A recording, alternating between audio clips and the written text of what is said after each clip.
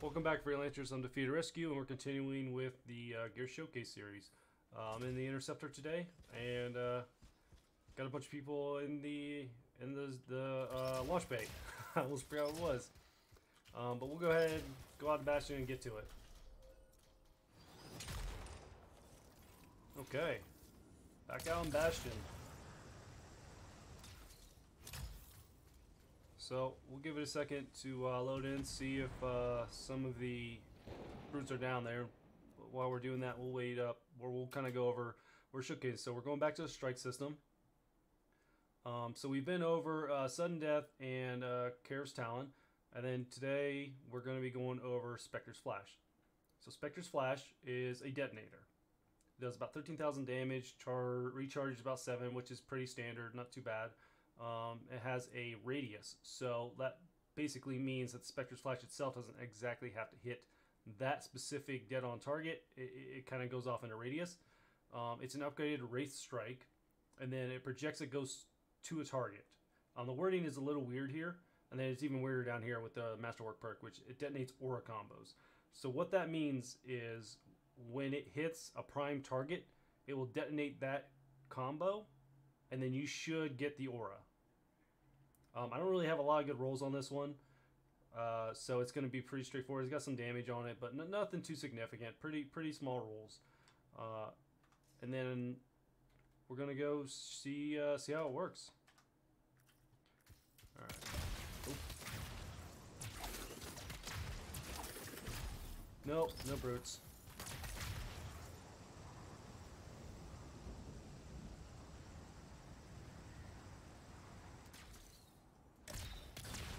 and go in to the necropolis. Okay. So I'm going to start uh, shortening these videos up a little bit. Uh, I've had a few, I know we kind of originally the plan was to keep them a little bit short, but I kind of wanted to showcase to everyone uh, um, basically that I was in GM1 or GM3, what my build was, no components, but I think at this point everyone should be kind of uh, knowledgeable on what's really going on. And I'll still kind of talk about it. Um, but yeah, a lot of people have said that they feel like the videos are a little too long too, so that's fine. I'm just not. I'm just not trying to hide anything. Uh, I want everything to be out there, uh, uh, kind of in front, so everyone can see it. If I get enough people saying, "Well, I still am not sure. I want to see it," I'll still have the raw footage, and I'm. I have no problem posting that as well. Uh, but yeah, if enough people are like, no, no, no, we like seeing you go through the process and everything, I can go right back to that too. But uh, we'll go down here and showcase it. So that's pretty much what it does. It shoots out a shadow of yourself, almost like a clone, to uh, whatever the target is. So you see how it did like a little bit of tracking, and then it hit kind of multiple enemies in the area. So right there, it missed. I gotta wait for it to recharge. I don't have enough charges on it. So it hit them and detonated in that area. Granted, they weren't primed. But you see how it's kind of like jumping to a target? It's almost act so it almost acts like binary star if you're familiar with the storm.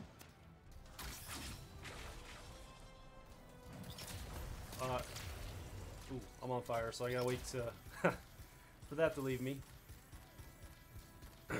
Doing pretty good damage, burst, nothing special.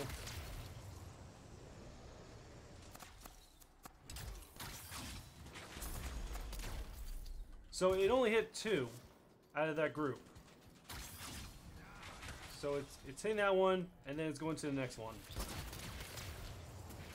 But it only stays around for a little bit. It's not where with Binary Star, where it would kind of hang around for a minute. Once it hit one enemy, it bounced to the next, and then once it hit that enemy, it bounced to the next, and it would just keep going for about three or four enemy types.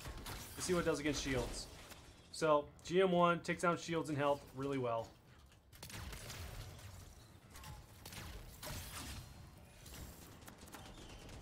So it actually missed them. I don't know if that was because they were out of range.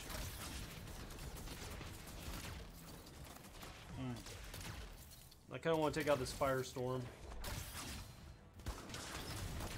So I took out their shield and did a little bit of health. They were already missing about a third of their health. It still kind of drifted toward them, but it, still didn't hit them. Let's see if we can get them again. I'm just going to take them out. It's We still have another storm to get a pool of information from. They were just setting me on fire consistently, so I had to take care of that. So it looked like it hit this enemy here, hit this enemy here, and then it kind of started to go to that enemy, but didn't quite make it. Yeah, so it jumps to at least two enemies. Alright, let's see what it does against armored enemies.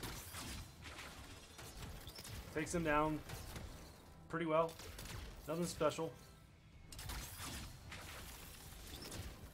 It's pretty much a one-shot, so if you had a lot of charges on this, it could be very useful in GM1. Especially if they're grouped up, you might be able to get a handful of them. Alright. Try not to get frozen real quick. Alright. See if we can kite the uh, storm over here. Alright, so... Took down the shield, took about a third of health. And... Yep, took him out. And then it hit off one of those other enemies as well.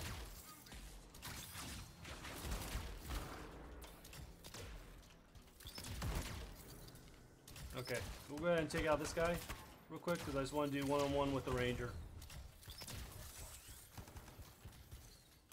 Let them do their ult.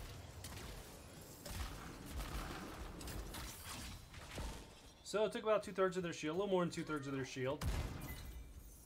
Let's go ahead and get their shield down. Alright, shield's down. So it took a little more than a third of the health. They took another one third. It took a little bit of their shield too, though, because they were just getting their shield back.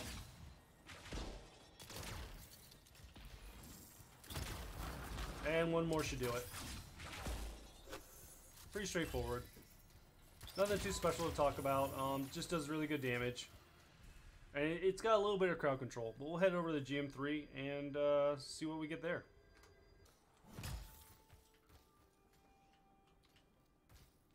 Alright, so you might be wondering, wait a minute, why are you at the Hollow? I thought we were going to Acropolis. Well, uh, as of lately, I've noticed that, especially in GM3, that when I go into the Acropolis, there's like no enemies in there because somebody has just cleared it out. So it takes a while, especially in certain servers, for enemy types to come back. Uh, so I'm going over to the Hollow. And, uh, I mean, it's... Honestly, the Necropolis, and the main reason I've been going to is, is just because of convenience. It's actually not the best place to farm, especially Outlaws. There's much better dungeons for that. Um, but we can go into here. This one works just as fine. The same, uh, same enemy types. Alright. So, GM3. So you can see there, this is pretty common with things when we come GM, from 1 to GM3. Pretty much seeing the same kind of stuff. It took about a quarter of their health. And then it jumped from one hit to the other. But what we haven't, so, yeah. It took a little, it takes a little bit more than four. It's doing damage to other enemy types that are in the general area. Um, but yeah. Still not not super powerful on its own. However, it's a detonator, so they tend not to have a lot of extra damage to them or extra uh, damage effects. We'll see what it does against the shields. So it does pretty good against shield. It doesn't completely take them off, but it does uh, do damage against them. However, they're getting them back pretty quick because I'm not applying damage to them consistently. But as far as the gunners, it, it, does about the same as it does against the normal enemy types, the normal outlaws. So we'll go ahead, go through. I paired this with um, a primer, and we'll kind of showcase how it works out. So now I've got, so this is this is really where this one shines. Um, I am under electric effect right now. As you can see, I am burning them with electric effect.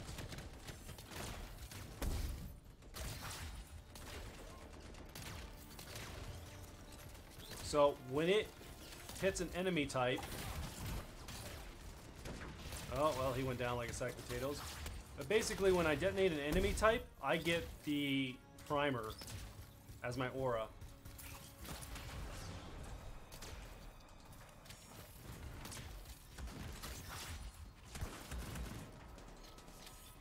Oh, I threw that way too far.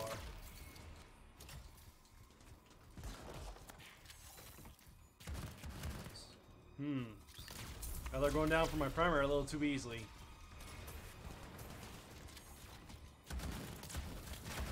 Alright, well, let's see how it does against shields for the storm. And it takes about half the shield away for a storm.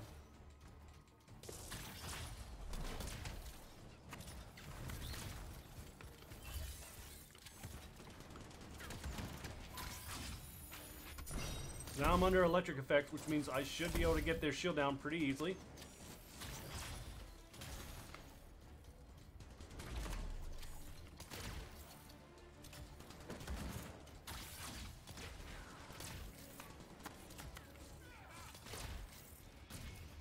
So where strength really um, kind of exists are in areas of grouped up enemies that are primed. Because it can bounce around, hit a bunch of enemies over there, and then it'll prime you as well. And see how it's like primed all the other ones as well? So if I had a lot of charges on this, I could just keep keep detonating uh, primers.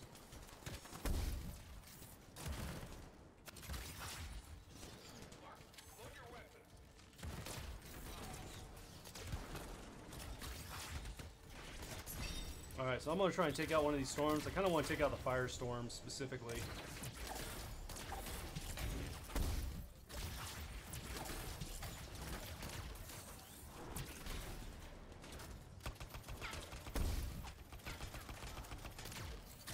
So he's fire, and now I'm fire. So you see I walk up to him? I'm setting them on fire with tick damage from my aura. Clear some of these guys out. Alright, Lego time. Alright, let's see if I can prime them. Oh, they're going to go down easily. Alright, so there's armor enemy types. Let me just throw one out of them. So, it doesn't do very good against armor. Does not do good against armored enemy types.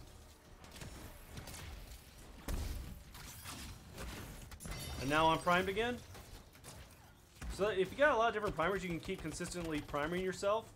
So there on fire. Oh, I didn't get it in time. Let me pop my ult real quick, get my health back. Alright, health is back. see if we can prime them. Yep, there it is. Okay. So that's that's essentially how you want to make it work, is you really want to get primes on. So we've kind of seen how it works against their shield. We'll go ahead and try and take their shield down. Let me use this instead. Little better for shield. Okay, shield's down. Hit him with that. Doesn't do a whole lot of damage. It does decent damage in general, but as far as just doing damage all around, it's on its own, it's really not that great. So, we'll go ahead and prime them real quick.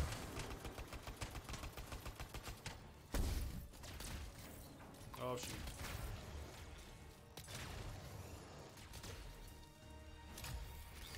Let's see if we can get their shield down and see if we can prime them.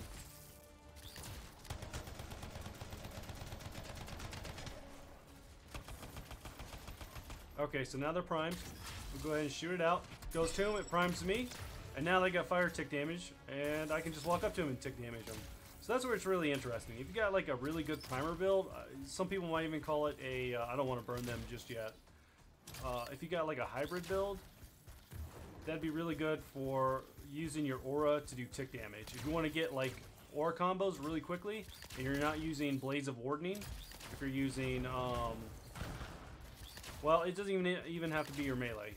But if you just want to have a good way, if you had a lot to detonate combos and get the aura on you without being like right up in their face, trying to play a little bit more long range, uh, this gives you a really good option for that. But we'll go ahead and take down their shield. Actually, we'll test on their shield. So yeah, about the same. Nothing special there. Can't take down a whole shield on its own. But there's nothing about it that would really indicate that it should be taking down a shield on its own. Okay. So that alone is like, yeah, it did 20, approximately 20 some odd damage, 20,000 odd damage. So yeah, I'm seeing about 20, 22. Not horrible numbers, but like, it's going to take forever, especially with the charges and damage rolls I've got on this, to get all their just to kill them in general. So we'll go ahead and get their shield down. And then, so like, uh, let's see. Okay, let me get my health back real quick. Alright. So we'll see if that if we can prime them with Oh, I'm that was weird. God, they just keep getting their ult back.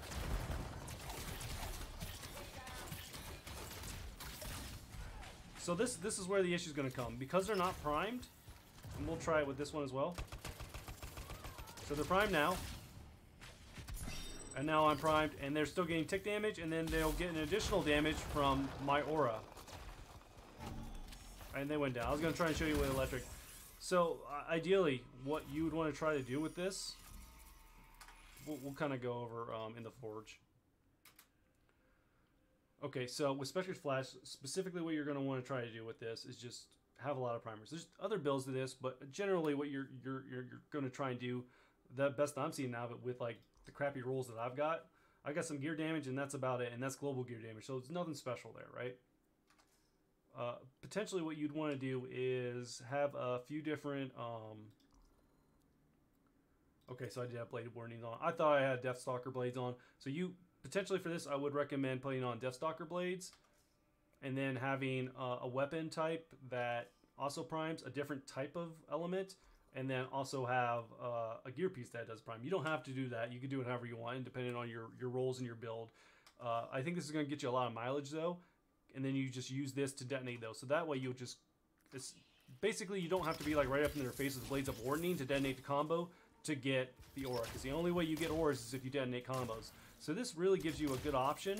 Spectre's Flash gives you a good option for detonating combos from really far away.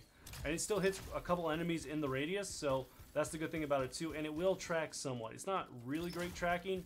It's it's not the best tracking. I think Binary Star is one of the best tracking as far as gear uh, items go. Binary Star and then Chronic Rhyme. I think Chronic Rhyme is actually the best because you could be like completely off from your target and it, it will still try to track to that enemy type. Where with uh, Spectral Flash, it, it kind of it'll curve a little bit or strafe a little bit to them, but it's it's it's not gonna go right to them if you if you're missing. So you you got to be kind of specific with your your positioning and um, before you let it off because uh, you could potentially miss. However, if there are a group of enemies there, it will attempt to hit one that enemy that you're targeting and then an enemy nearby. Uh, so that's something to consider. Uh, so let's go over the checking the boxes. Uh, is it efficient? Uh, well, I mean, as far as charges go, or recharge, that's kind of where my mindset falls with this. On its own, it has a seven which if you look at all these, that's actually, uh, other than this one, it, the recharge is about the middle ground. It's it's it's not the lowest, it's not the highest. Uh, it, it's it's pretty standard across the board. Um, so you know, efficiency wise, it's not bad. It does a decent amount of damage. It actually, I think, does the most damage. Yeah, yeah. Out of everything in the the strike system, it, do, it has the highest damage, and it is a detonator. So for me, anything that's going to prime, detonate, or do anything with a combo system in Anthem, uh, it's going to be efficient. It's going to have a, a use, a really good use too. Uh, just because when you get combos, you get your alt back quicker. Uh, having your ult is never a bad thing, even if you don't use it. Like me here, I didn't showcase the ult at all. I just used it to get my health and shield back and have like a moment of invincibility.